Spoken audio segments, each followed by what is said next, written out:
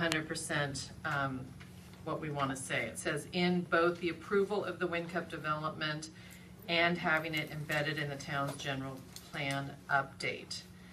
Um, I, I think what, um, we really wanted to say is those are factors in the identification of the WinCup site as a site which could accommodate a significant portion of the town's RHNA quota and the ultimate approval of the Tam Ridge Residences development.